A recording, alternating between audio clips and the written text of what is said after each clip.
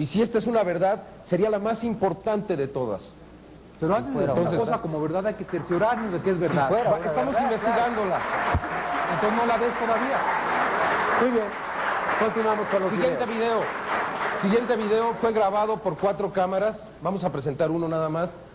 Participó el licenciado Víctor Quesada con gente del, Centro Universitario Grupo Sol. Ahí está. Es una luz que se, se avisó, previo aviso, aquí puede constatarlo. es más, licenciado, ¿por qué no cuenta esta experiencia? ¿De qué se trata? Sí, el- la persona que tiene el contacto nos dijo que ese día se iba a presentar alguna situación. Eh, yo pedí permiso en la universidad, tomé una cámara y me presenté junto con otras tres personas. Y sobre la azotea de la casa del testigo eh, hicimos esta, esta filmación. Lo más interesante de esta filmación es que hubo un momento en el que el objeto se detuvo a unas señales de luz que se, que se le enviaron y no presentó un patrón de objeto conocido ni ningún ruido similar. Son cuatro cámaras de video simultáneamente. ¿Cómo era el objeto Grabando. a simple vista? No sé, era, era como la cabeza de una antorcha. O sea, eh, pensé en un momento que podría ser un globo de los que utilizan en esa, en esa área, pero ante los análisis de espectro de la computadora dan patrones similares a videos anteriores y a fotografías.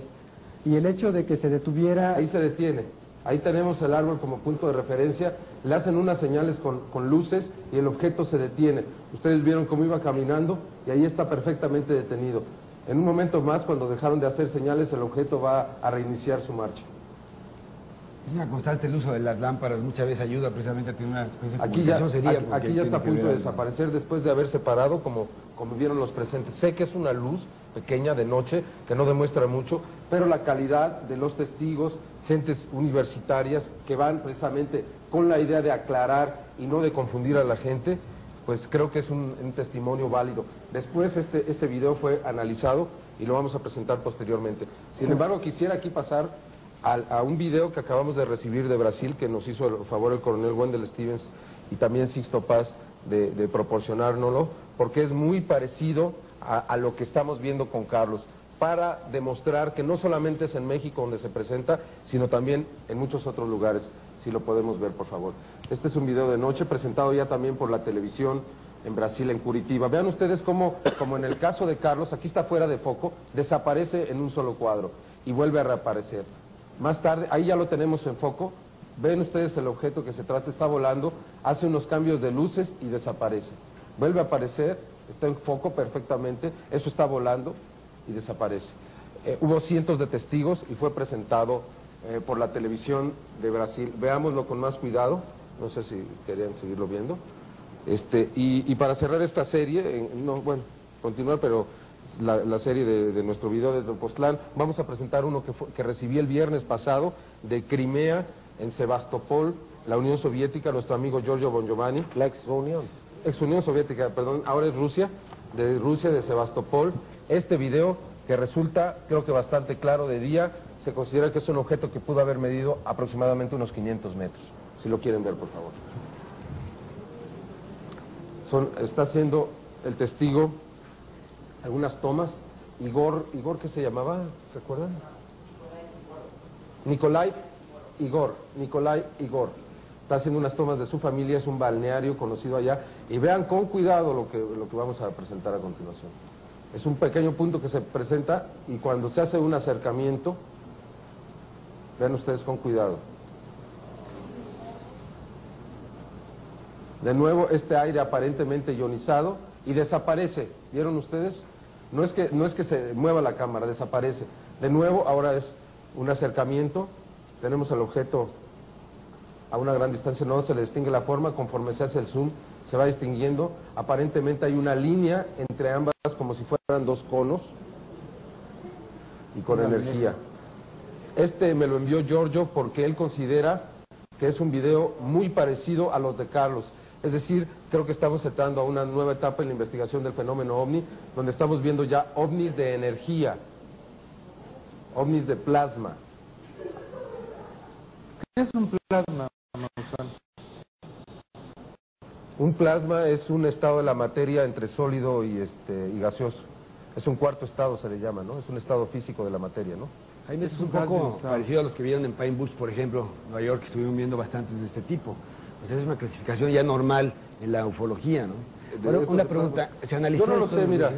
Yo este, simplemente soy un comunicador, yo presento, a veces me quieren hacer preguntas muy científicas, este, yo no sé todo lo que presento, pero siempre me documento y cuando algo es presentado oficial y con firmeza, está, aquí es una de las gentes que me ayuda más con Bauer, que él sí es científico Bueno, en y el caso de un plasma, podríamos decir lo siguiente.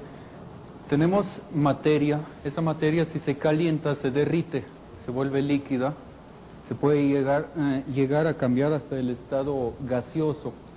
Se supone que un plasma es algo intermedio entre el estado todavía tangible, podríamos decir, digamos el estado gaseoso y el estado energético. Cada gramo de materia, según la fórmula de Einstein, que se hizo tan famosa, equivale a aproximadamente 25 millones de kilovatios hora de energía. O sea, podemos decir que la materia es energía condensada, energía comprimida, gran cantidad de energía en poco espacio. El plasma es cuando ya está a medio camino hacia la energía. Podríamos decir un gas extremadamente caliente, por ejemplo. Por ejemplo, si la, la cápsula Apolo tiene su reentrada a la atmósfera, o el taxi espacial, por ejemplo, la gran temperatura y el gran esfuerzo mecánico de compresión a que está expuesto el aire genera una cápsula de plasma alrededor del vehículo. Para eso generalmente, hasta donde yo sepa, se requiere de una gran cantidad de calor. El plasma implica también ciertas cualidades eléctricas. y suena lógico el que se hagan naves de plasma que pudiesen ser una especie de célula A mí se me hace, bueno, andar en una nave de plasma ha de, ha de ser como estar sentado sobre una bomba atómica, dándole de martillazos a la espoleta además. Se me hace demasiado difícil de controlar. Tenemos el caso, por ejemplo, en, en los equipos experimentales de fusión nuclear, que el plasma convierte las líneas de campo magnéticas en una especie de ligas, ya no se controlan. Generalmente se usa el campo magnético para confinar el plasma, porque no hay material que lo aguante por la temperatura que tiene. Lo malo es que se mueven demasiado las líneas cuando están expuestas al plasma. No se me hace fácil de controlar plasma ni de confinarlo, y menos de hacer una nave. Aquí Pero hacer- podría ser que la nave esté rodeada debido a efecto de gran velocidad por plasma. Eso sí puede ser. Max, pero no podría ser más bien energía de calor, calorífica que, que plasmática. Bueno, es O sea, que no hay o sea, se energía despide una gran energía de plasmática. calor. La nave sí despide. Cuando expones cualquier materia, suficiente energía por, digamos, unidad de volumen, centímetro cúbico o algo, entonces la vas a convertir en plasma. No es tanto que sea energía plasmática.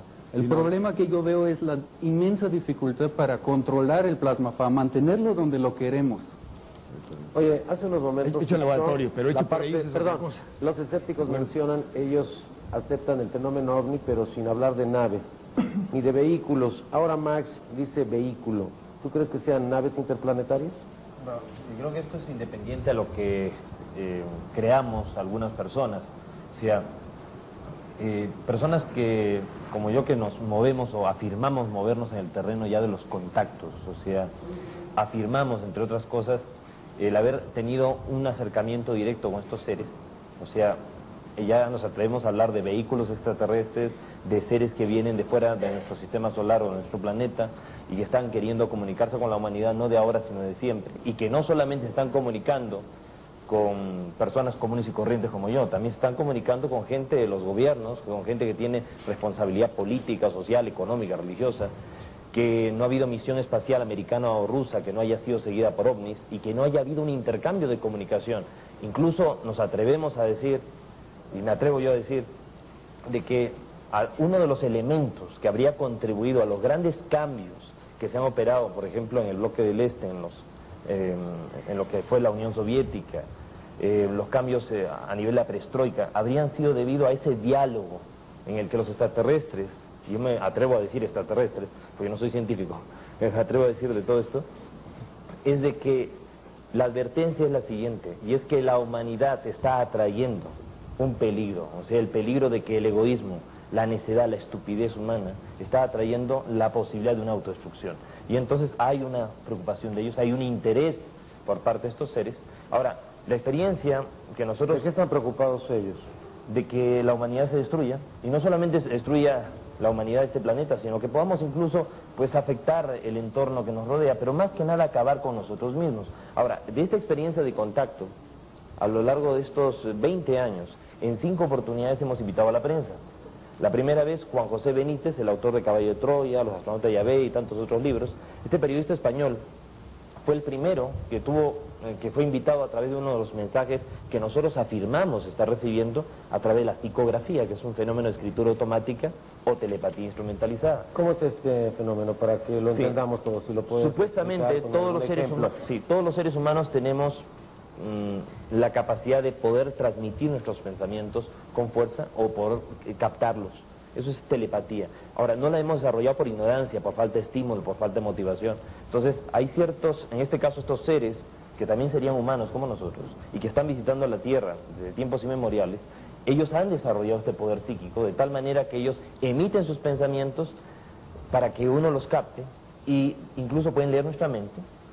Ahora, cuando uno recibe la onda mental, si uno está completamente relajado, podría producirse el fenómeno de transcripción automática. O sea, que uno recibe la onda mental e inmediatamente uno- en nuestro cerebro decodifica, interpreta lo que se está recibiendo y hay un impulso de redacción simultánea, de transcripción, y después uno lee lo que ha escrito. Ahora, la forma de corroborar que esto es real es después una cita a un lugar determinado, donde ya no solamente una persona, sino varios, contemplamos algo que mm, generalmente no es una luz, o sea, tiende a ser un objeto, por lo menos dentro de la visión de los que vamos. Y la última vez que se invitó a la prensa, en marzo del año 89, vinieron 40 periodistas de ocho países.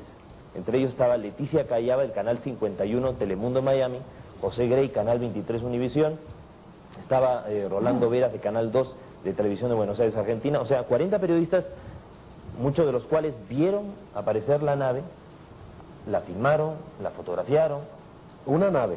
Sí, para, No una- para ellos, no para ellos una no, luz. no fue una luz. O sea, inicialmente apareció como una luz. Se fue una luz, lo que salió de los cerros era una luz.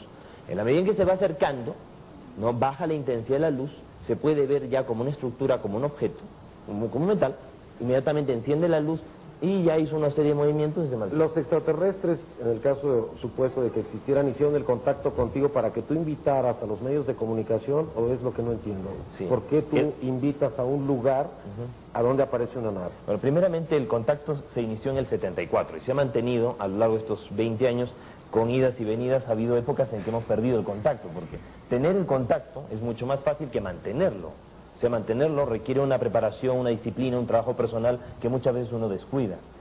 Y además surgen también las personas que comenzamos a movernos en torno a esto, el juego de los egos, la vanidad, la soberbia, problemas de tensiones entre nosotros, rivalidades. Pero bueno, el contacto se inicia a partir de lo que llamaríamos un ambiente muy propicio. Mi padre investigaba los ovnis como un hobby, nosotros crecimos en un ambiente muy favorable a estas cosas, mi padre nos hablaba de esto. Entonces siempre crecimos con la idea de que en este vasto universo lo raro no es de que hubiese vida fuera de la Tierra, lo raro sería que no lo hubiese. En eso yo estoy de acuerdo. Sí, entonces nosotros siempre teníamos esa posibilidad. Ahora, cuando llegó el año 73, a raíz de que mi padre fue a dar una conferencia en una agrupación,